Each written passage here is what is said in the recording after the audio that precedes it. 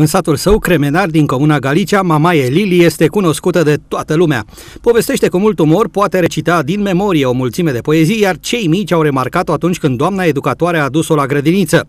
Acum, la cei 76 de ani, a mai făcut o ispravă. Fiind la băi, în Călimănești, s-a înscris la concursul de recitare și a obținut locul 3. A vrut să le arate tuturor că este talentată și a reușit. Toată lumea după mine îmi strângeau mâna. Mi-a dat un buchet enorm de flori, o sticlă de vin. Bun, bun. bun și vinul, bune și florile.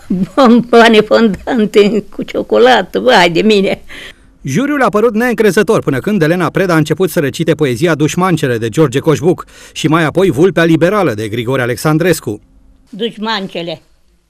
Las ochii, mamă, las să plângă, că tu leagă în tot cu mâna stângă mi-ai dat să suc și de-aia să nătângă. Nu plâng că mi-e de leana teamă, de ciudă plâng eu numai, mamă. Vorbele ei eu nu le bag în seamă, dar știi, mi-e rușine și mi-e greu, că scoală satul în capul meu. Ea duce sfat în casă în casă, că n-am roboade de mătase, n-am șorți cu flori și dacă n-am ce pasă. Aveam, n-aveam și nu o să-i meargă neam de neam. Stă în drum de vorbă cu vecine și bate în pumn să mori în vin. Păi știi ieri la moare ce zicea? Că sunt proastă foc și gurăre. Îi umbră în cap, auzi tu, soră, să ajungă ea Alexandrei noră. Ha, păi nu vezi la oră ce șorți, nu zine nici să crezi. Fă cruce fasă, nu lisăți. Alexandra e o preteasă. Își cată noră mai aleasă, ea n-a ajuns oricum și își adune nora după drum. Și e o noră pe o stană, nu o săracă și o golană. De ce nu vine fă să-i dau pomană? Vulpea liberală de Grigore Alexandrescu. Vulpea fără de încetare striga în gura mare în orice adunare că de când elefantul ăsta peste păduri domnește, treburile merg la vale și lumea pătimește. De acestea toate, elefantul când a luat de știre, temându-se cu dreptul de vreo răzvătire, pe iepure la vulpe cu un bilet trimese. O invită la curte, o îmbrățișe și spuse, am aflat, jupâneasă, că tu ai mare talent.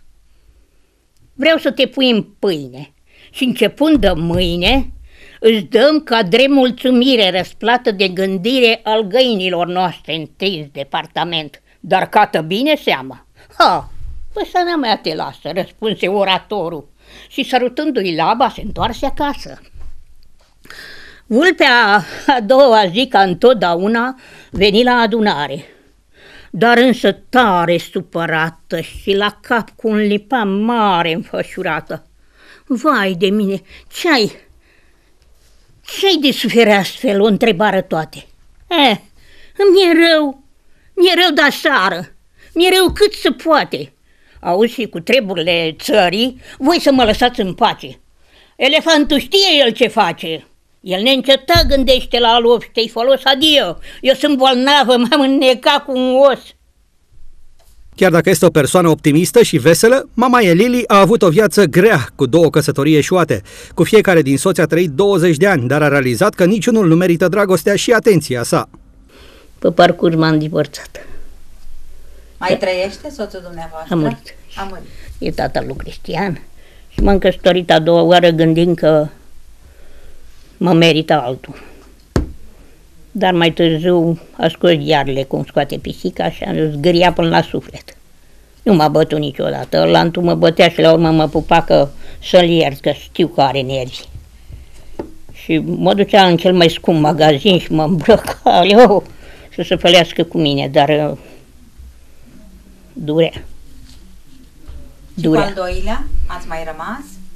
Am stat și cu el 20 de ani, am avut apartament aici pe nord, Binișor până au făcut copiii lui mari, fată și băiat. Toate vacanțele la mine. Am demonstrat că sunt mamă, nu numai mamă. Și în cele din urmă, bă, aș vrea să văd și eu ce culoare au banii tăi în buzunar la tine. Nu știu că am copii. Știu, da, am zis că colaborarea noastră unul cu altul va fi demnă de a trăi împreună. Nici nu am încredere că meriți să fii om cu cine nu te merită. Premiul obținut la Călimănești parcă i-a dat aripi. Continuă să citească fără ochelari, iar mai nou îmbracă sticle în costume populare. Coase tot fără ochelari și crede că, în ciuda greutăților cu care a încercat-o Dumnezeu, viața e frumoasă.